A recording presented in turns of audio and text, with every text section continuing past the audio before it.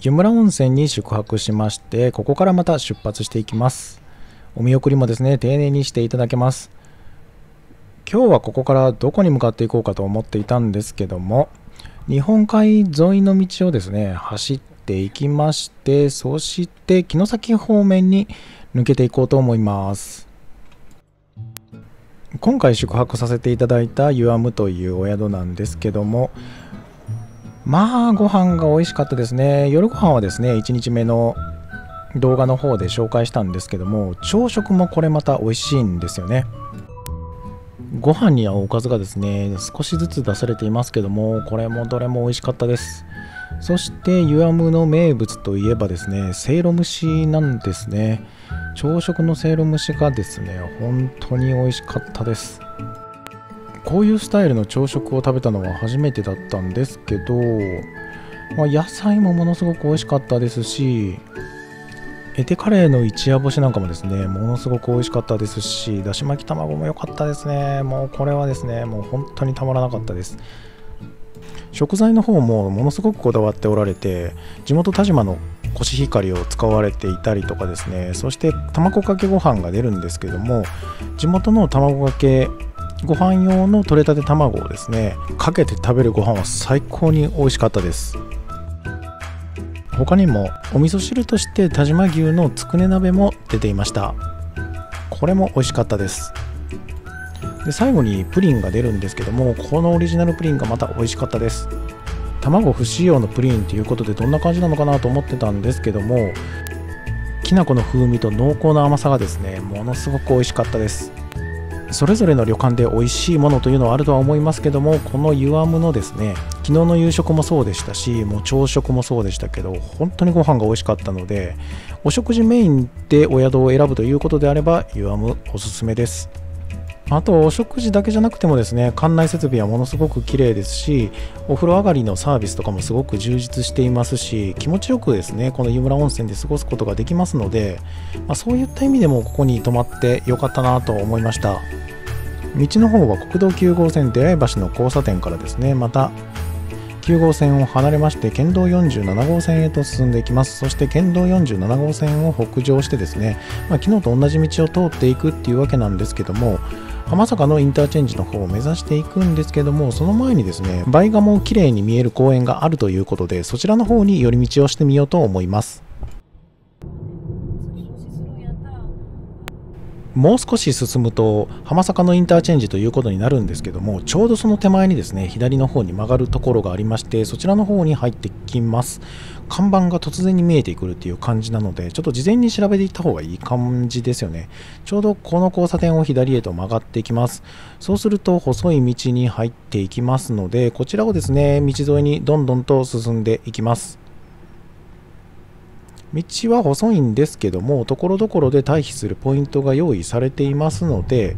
まあ、オデッセイハイブリッドサイズの車でもですねすれ違いに困るということはないかなというそういう感じです。この日は平日早い時間ということもありましたので前から車が来るということはありませんでした。川沿いの道をまっすぐ進んでいきますと目の前にですね梅賀公園の看板が見えてきます。ちょっと分かりにくかったんですけども、こちらの方が梅賀公園ということになります。止めていいんかな？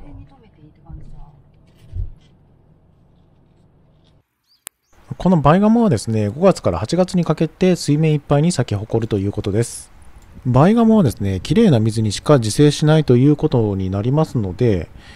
清流の目安とされるようなそんな花でもあります。そしてですね、水温が14度前後で低温度で安定している場所にしか自生しないということになっていますので、海岸から4キロほどしか離れていないこの場所にバイガモが咲くというのはかなり珍しいことなようです。まあ、ここはですね、雪解け水が流れてきたりとかですね、湧き水が流れてきたりして、一年中水温が低い状態で安定しているということなんですね。ですので、こういう場所でバイガモが見れるというのはかなり貴重ということです。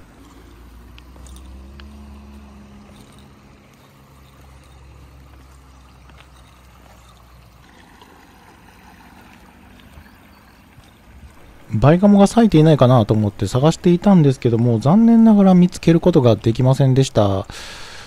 やはり近年頻発する大雨などの影響で株が根付かないとかってなかなかですね以前のようにたくさんの倍ガモを見ることはできないようです。探せばあるというふうには書いてあったんですけども残念ですけど僕はですね見つけることができませんでした。また次の機会にですね挑戦してみようと思います。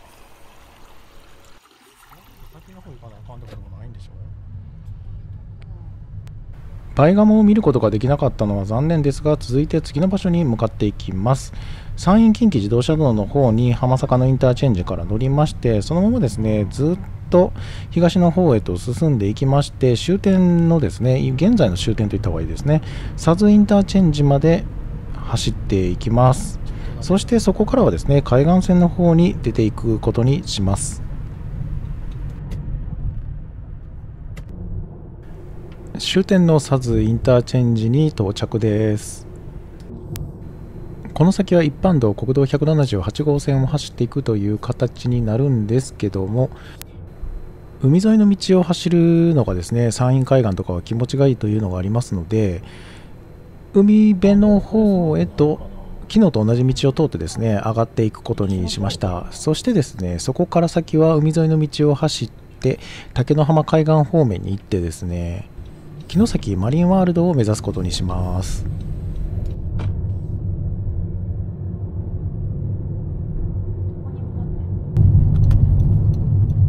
昨日もこの道を走っているんですけども昨日はですねこの佐津の交差点を直進をしていますけども今日はですねこの交差点を右に曲がっていっ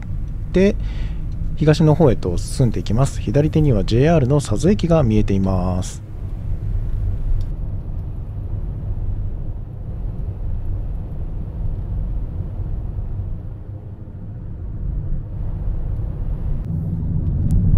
佐津駅を越えたら海岸線を通っていく道になるんですけどももうこちらの方に来たらすぐですね景色が広がっていて展望所っていうんですかねそういうところがあちらこちらに用意されていましてもう早速ですね泊まってみることにしました。すごい景色が良さそうだったのでこれは泊まらないとって思ったんですけどもね。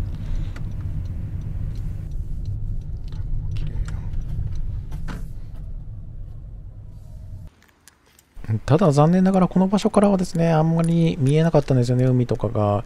思ったより開けてませんでした、まあ、残念でしたけどまだこういう場所はこの辺りも続くだろうということですぐに出発していきます。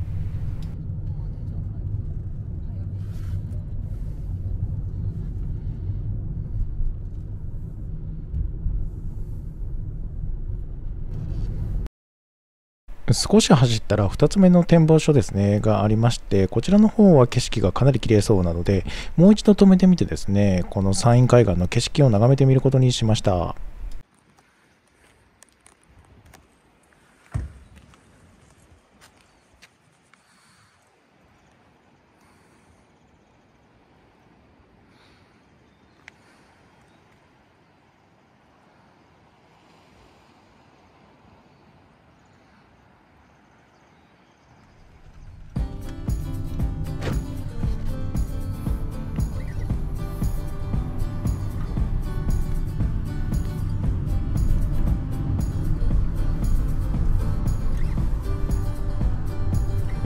佐津を出発して2つ目の駐車場ですね。展望所を過ぎてくると左手に海水浴場が見えてきます。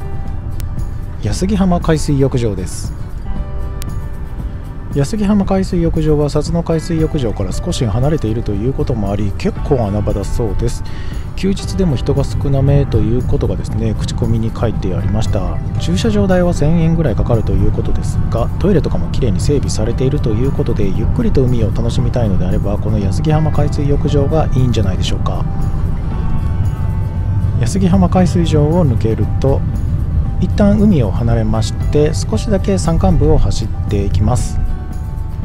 途中 JR 山陰本線を左手に見ながら県道11号線は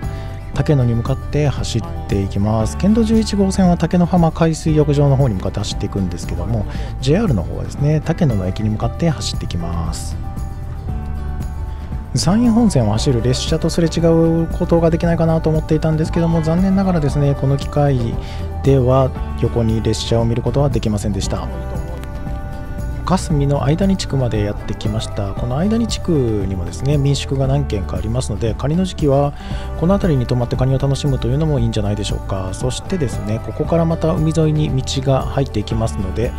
山を登ってですね海岸線沿いの道になっていきます。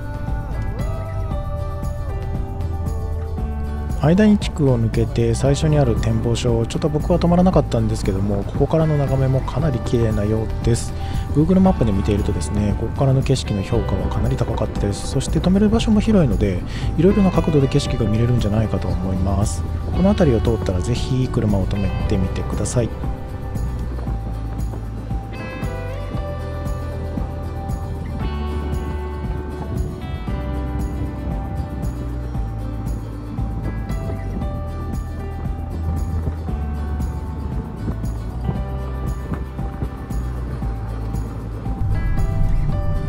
山陰海岸の海岸線の道は結構入り組んでいますのでくねくねとした道がどんどんと続いていきます。運転する者にとってはですね結構走りごたえのある道ですね。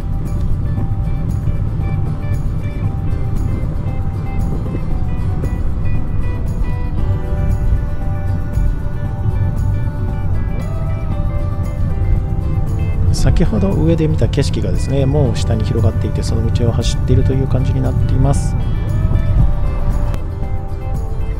竹野はですねもう海水浴場が有名ですね。竹野浜海水浴場です。日本の渚100選にも選ばれたですね1キロぐらいですかねにも及ぶ白い砂浜が続く美しいビーチということになります。夏になったら結構人が多いんじゃないかなと思います。県道11号線を走っていますけどもこのトンネルを抜けたところにですねハカリ岩という岩があります。ちょうどねこのトンネルの左手ぐらいにあるんですけどもちょっとこの時気づかずに止まれなかったんですよね。ここの空いているスペースに車を止めてですね後ろを振り返ると岩と岩の間にですね丸い岩が挟まっているみたいな不思議な光景を見ることができますのでぜひですねあそこに車を止めてみてください。ちょっと本当に知らなかったので次はですねちゃんと止めてみようと思います。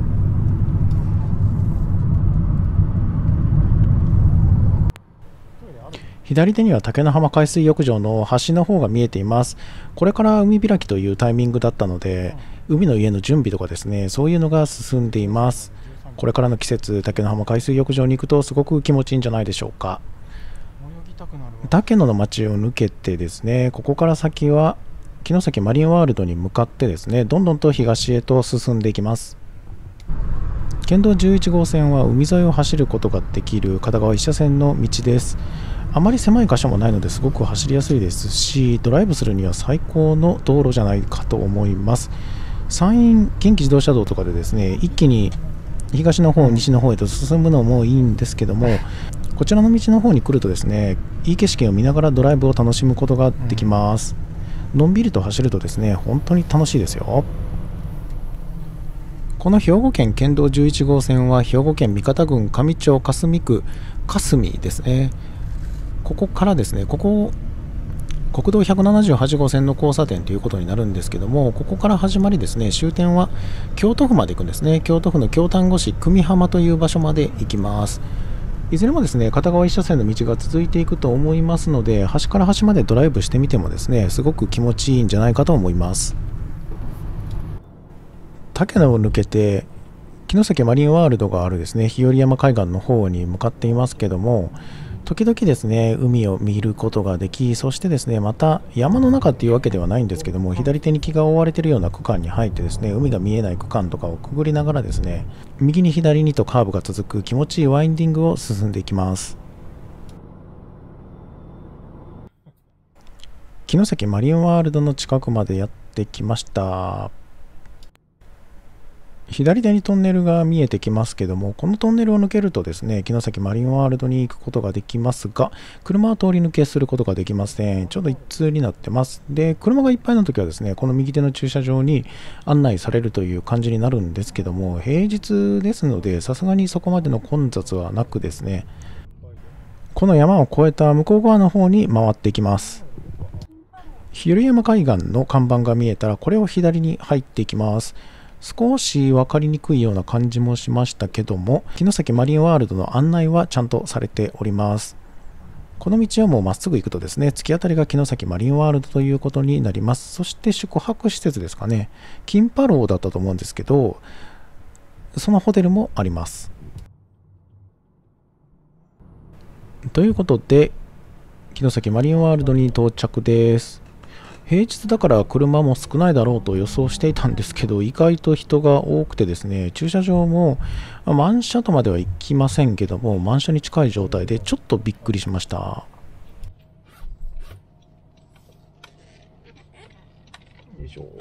駐車料金は普通車が800円ということになっています。まあ、1日800円で止めることができます。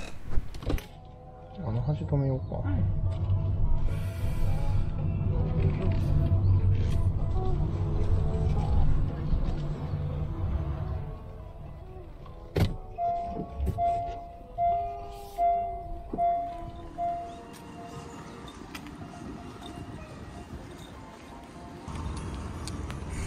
城崎マリンパークに入る前にですね日和山海岸の方の景色を眺めてみようと思います。正面奥の方にはですね竜宮城が見えています。と言いたいところなんですけどもあそこは野地ヶ島と言われる島で浦島太郎が玉手箱を開けた場所と言われているそうです。島の伝承のために1950年に東屋が建てられたということです。その東屋がまるで竜宮城のようなんですね。城崎マリンワールドに来たらですねこの日和山海岸の景色もぜひ眺めてみてください。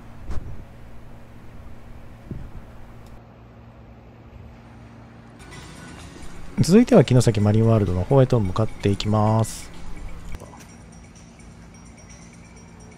ひねくれた顔してたね。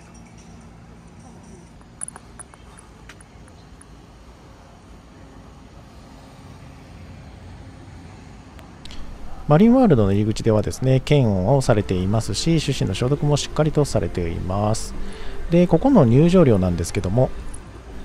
大人2600円ということになります。今回はですね、兵庫県民割を利用して2000円分のクーポンをもらっていたので、ここで使わせていただいてですね、入場料は600円で入ることができています。城崎マリンワールドもですね他の水族館と同じように川の魚や海の魚とかをですね見ることができます。その他にはイルカアシカショーなどがあったりですね他の施設では珍しいアジ釣り体験みたいなのがあったりとかしてですね釣ったアジをその場で調理してくれるみたいなそんなことができたりもします。そして海が目の前にあるという感じなので海沿いの道を散歩したりとかそういう感じのこともできるので水族館なんですけどもいろいろな楽しみ方ができます。水族館のほとんどは海の近くにあるとは思うんですけども都会の海とはですねまた全然違った景色を楽しむことができます。水族館に行ってるとですね時間を忘れて魚たちを見てしまいます。海の生き物を見てると何回癒されるんで僕は水族館がですねものすごく好きです。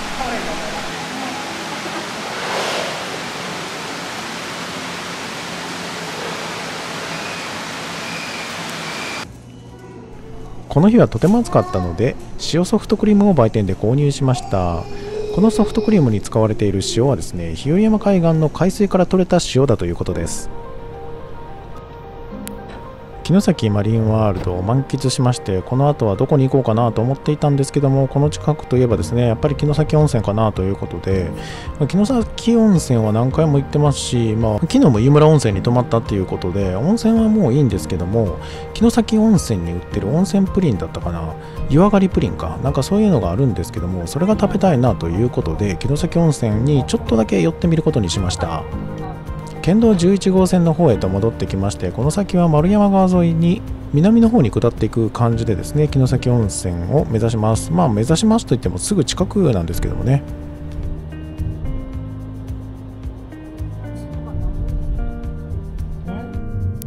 この左手に見える橋を渡ると県道11号線ということになりまして久美浜方面へと行くんですけどもここからはですね城崎温泉方面へと向かいますので道を変えまして県道3号線の方ですねを南へと下っていきます。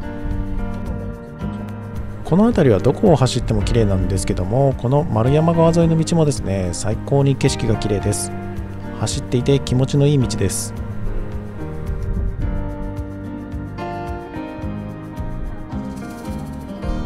左手には大江戸温泉の城崎が見えてきました。温泉街から少し離れた場所にあるんですよね。温泉街に行くにはですねちょっと歩かないといけないのかなといった感じです。城崎温泉街に流れる川ですね大谷川が見えてきました。これ右手に行くとですね城崎温泉の温泉街へと抜けることができます。これを右に行っても駐車場があるんですけどもいつも城崎温泉のですね駅前といったらいいですかね。城崎温泉駅の近くにある駐車場に停めているのでそちらの方に行ってみようと思います。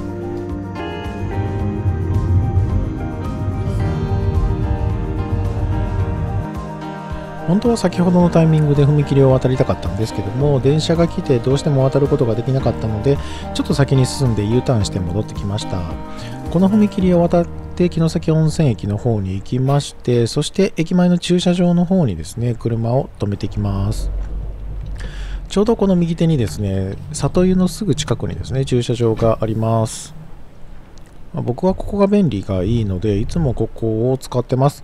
城崎温泉の温泉街の方にも駐車場があるんですけどもどうしても人が歩いていたりとかするので、まあ、僕はですねこっちの方が人が少なくていいかなと思ってこっちの方に止めてます。月曜日だったのもあってたと思うんですけどもこの日はですねすぐに止めることができました。湯上がりプリンを購入しようと思ってですねこっちの方にやってきたんですけども残念なことにですね湯上がりプリンが売り切れということで買うことができませんでした。代わりに丸山製菓で売っている湯上がりチーズタルトとですねそしてこの茶の湯さんの焼き芋ほうじ茶ロールというやつがですね目について美味しそうだったので購入しました。茶の湯さんで偶然見つけたこのほうじ茶ロールですけどこれはこれで本当に美味しかったんですけどもここで売っているお茶がですねものすごく変わっていて例えばですねぶどうのお茶とかですねチョコバナナのお茶とかですね今まで見たこともないようなお茶がたくさん売っていました。飲んでみると香りは例えばブドウなんですけども味はお茶みたいな本当に不思議な感覚でした。この焼きほうじ茶ロールにもですね焼き芋のほうじ茶が練り込まれているということなんです。あともう一つ購入したこの湯上がりチーズタルトも美味しかったです。次は湯上がりプリンが買えたらなと思います。城崎温泉で買い物をしてですねそして車に乗り込んだ瞬間大雨です。まあ本当に運が良くってですね歩いてる時は全然雨が降らなかったんですけども本当に車に乗る瞬間にですねこれだけ雨が降ってきましてやっぱり雨に降られるなぁと思いながらあとはですね家に帰っていきます、どこかに出かけるとですね雨が降る確率はやっぱり高いようです。まあ結構ないい勢いでですねザーザーザーザーこの後ちょっとの間でしたけど降ってきまして、まあ、雨の中ですね帰るということになりました。ただ観光している間は本当に雨が降らなくて今回は良かったなと思います。まあ、ほぼですねいい天気だったので、うん、楽しい旅を楽しむことができました。今回はですね兵庫県民割を利用することができて宿泊費5000円の割引とそれとですね2000円のクーポンをもらうことができましたのでかなり安く旅をすることができたかなと思います。宿泊先の方ではですね今回は部屋の方がですねもう空いてる部屋がほぼなかったっていう感じで選ぶことができなかったので料理の方を豪華にするといった形でですね田島牛と白イカですね剣先イカをプラスする食事のプランにして普段だったら1万9000円ぐらいなんですかねそれが5000円引かれてですね1万4000円くらいで泊まることができたのでかなりお得だったなと思います。それと城崎マリンワールドでですね2000円のクーポンを使うことができましたので入場料が2000円引きということで入ることができましたしまあおおむねですね今回は兵庫県民割を使うことでまあ、1人当たりですけども7000円の得をして旅をすることができました。またコロナの感染拡大をしているということで全国旅行支援というまた旅行がですね行きやすくなるプランっていうのがあったんですけどもそれが延期されているということでその代わりに県民割がですね8月31日まで延長されているということなので、まあ、遠くには行かなくても近くでもいいところってたくさんあると思いますので近場でですね宿泊をしてその辺の観光を楽しむっていうのも悪くはないんじゃないかなと思います。またこのような機会があってですねどこかに行くことができればもう1回ぐらい県民割を利用していけたらいいななんて思ったりもしていますそれではですね今回はですね県民割を使って湯村温泉の旅を楽しみましたここまでのご視聴ありがとうございました。